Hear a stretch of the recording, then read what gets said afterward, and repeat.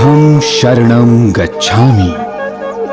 धम्मं शरणं गच्छामि। संघं शरणं गच्छामि। कपिल वस्तु यही है शाक्य मुनि महात्मा बुद्ध का गृह नगर आज से लगभग ढाई हज़ार साल पहले, उत्तर भारत में सोलह महाजनपद एवं कई गणराज्य विद्यमान थे। हिमालय की तराई में स्थित कपिल वस्तु के शाक्य इन्हीं में से एक थे। कपिल वस्तु की पहचान सिद्धार्थ नगर जनपद के पिपरहवा नामक स्थान से की गई है। गौतम बुद्ध की माता महामाया थी तथा पिता शुद्धोदन शाक्यों के गण प्रमुख थे। महामाया ने स्वप्न देखा कि एक अलौकिक सरोवर में चारों दिशाओं के दिग्पतियों के साथ स्नान करते समय एक विशाल हाथी अपनी सूंड में कमल पुष्प लेकर उनके गर्भ में प्रवेश कर गया। ये संकेत था बुद्ध के जन्म का। कपिल वस्तु से अपने मायके जाते समय महामाया ने लुम्बनी नामक स्थान पर पाँच ईसा पूर्व पूर्णिमा के दिन एक बालक को जन्म दिया, जिसका नाम सिद्धार्थ रखा गया। ज्योतिषियों की भविष्यवाणी थी कि राजकुमार या तो चक्रवर्ती सम्राट होगा अथवा एक महान उपदेशक। अंततः ये भविष्यवाणी सत्य सिद्ध हो गई। भ्रमण के दौरान एक वृद्ध की जरावस्था, एक रुग्ण व्यक्ति की पीड़ा और एक मृतक के संबंधियों का विलाप देखकर सिद्धार्थ व्यथित हो गए। अंत में एक प्रसन्न चित्त परिव्राजक सन्यासी को देखकर उन्होंने अपना लक्ष्य तय कर लिया और 29 वर्ष की युवावस्था में राजसी वैभव का परित्याग कर सत्य की खोज में निकल पड़े अपनी निद्रालीन पत्नी एवं पुत्र को पीछे छोड़कर। गृह त्याग की ये घटना इतिहास में महाभिनिष्क्रमण के नाम से प्रसिद्ध है। छह वर्षों की कठोर साधना, अपने साथियों के तिरस्कार और अनेकों विचित्र घटनाओं के पश्चात अंततः बोध गया में निरंजना नदी के तट पर बोधि वृक्ष के नीचे, मार्ग के विभिन्न विघ्नों पर विजय प्राप्त करते हुए, वैशाख मास की पूर्णिमा को संबोधि प्राप्त हुई। सिद्धार्थ अब बुद्ध हो गए। इसके तत्काल बाद बुद्ध सारनाथ के ऋषिपत्तन मृगदाओ पहुँचे और अपने पाँच साथियों को ही पहला धर्मोपदेश दिया। इस घटना को धर्म चक्र प्रवर्तन कहा गया है। अस्सी वर्ष की अवस्था में बुद्ध वैशाली से पावा पहुँचे। चुंद नामक अनुयायी के यहाँ भोजन किया और भोजनोपरांत अतिसार से पीड़ित हो गए। इसी अवस्था में बुद्ध दूसरे दिन अपने अनुयायियों के साथ कुशीनगर पहुँचे और अपना शरीर त्याग दिया। इस घटना को महापरिनिर्वाण के रूप में जाना जाता है। अपने जीवन काल में ही बुद्ध ने अपने चचेरे भाई और प्रिय शिष्य आनंद से अपने निर्वाण के पश्चात अपने धातु अवशेषों पर स्तूप निर्माण की इच्छा व्यक्त की थी। उनके अवशेषों को आठ दावेदारों में विभाजित किया गया था और प्रारंभ में इन्हीं अवशेषों के ऊपर मिट्टी के अंडाकार शारी की स्तूप बनाए गए। कपिल वस्तु का स्तूप इन्हीं प्रारंभिक स्तूपों में से एक है।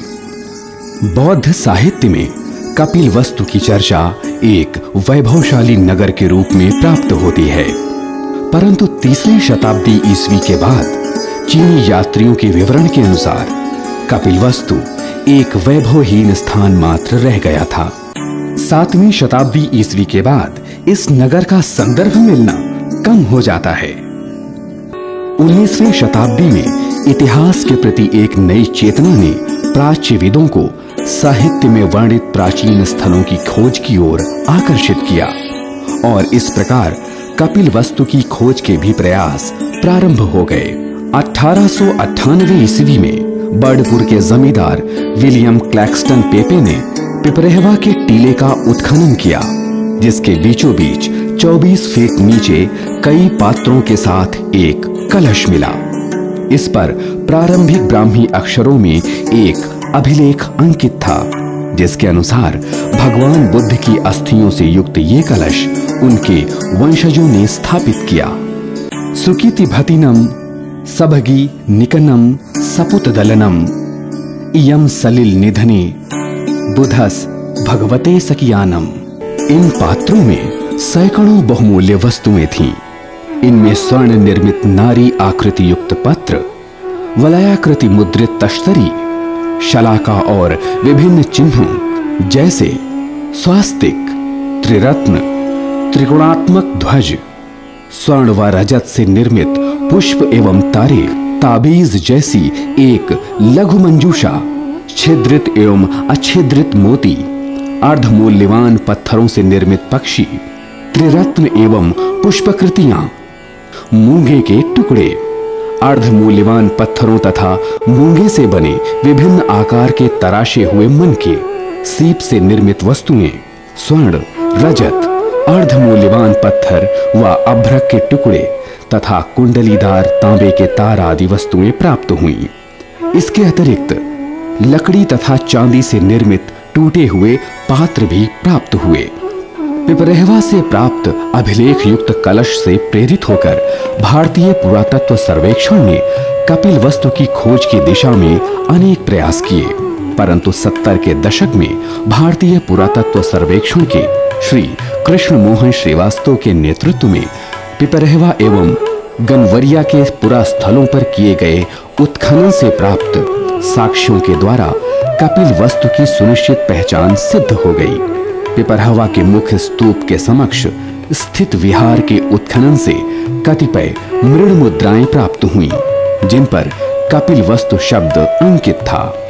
ओम देवपुत्र विहारे कपिल वस्तु, भिक्षु संघस, एवं महाकपिल वस्तु, भिक्षु संघस। कपिल वस्तु के पिपरहवा नामक स्थान पर एक मुख्य स्तूप, कतिपय संघाराम एवं विहार स्थित हैं। मुख्य स्तूप का निर्माण तीन चरणों में हुआ था।